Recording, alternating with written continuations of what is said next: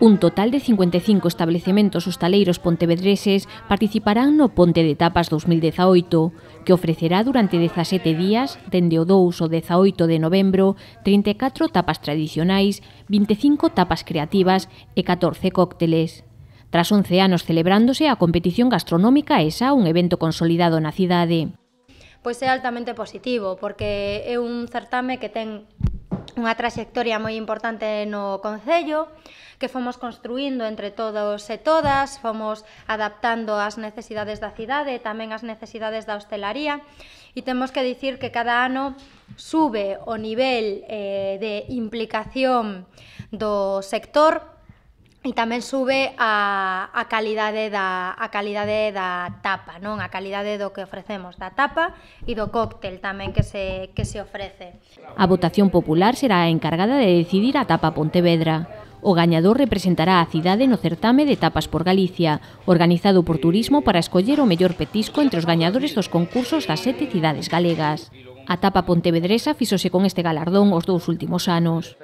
Tanto o nivel que durante dous anos consecutivos a tapa Pontevedra escollida no certame de Ponte de Tapas foi escollida a millor tapa de Galiza, non? E iso pois é un mérito eh, que, que todas e todos levamos con moito orgullo, non? E Rubén pois ano tras ano pois sigue, non, defendendo a cidade e o sabor de Pontevedra e todo o sector con el e tamén todo o apoio do, do Concello. Tamén haberá premios do xurado para a mellor tapa tradicional, a mellor tapa creativa e o mellor cóctel. As propostas seleccionadas polo profesorado do Carlos Oroza serán valoradas por un xurado profesional. Por último, haberá un premio a mellor maridaxe con cerveza, outorgado polo patrocinador do evento. Os pequenos bocados poderánse degustar a pequenos prezos, 2 euros por tapa e 3 por cóctel. Será un reto para pontevedreses e visitantes completar o tapasporte.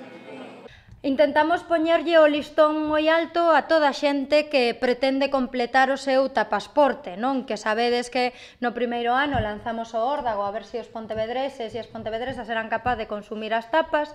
No primeiro ano completaron dous, pero no último ano creo que tivemos sobre 15 ou 16 tapasporte completado, non? O que para nós tamén é positivo porque o obxectivo é, primeiro, visibilizar os locais, novos ou aqueles locais que están máis alonxados non do, do meollo ou do casco histórico e tamén que saiban non as posibilidades que ofrece a hostelería pontevedresa.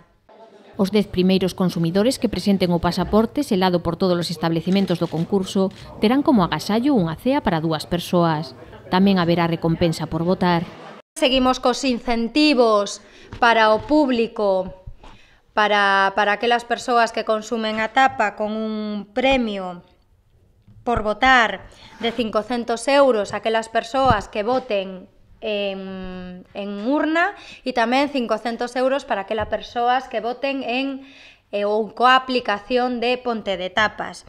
Queríamos sempre aclarar que estos 500 euros son para o comercio local, para que a xente o gaste no comercio local ou en ceas tamén nos locais de, de hostelería. O gañador de Tapa Pontevedra tamén terá como premio desenvolver un show cooking na edición do vindeiro ano da Feira do Gourmet Galego Etiqueta Negra.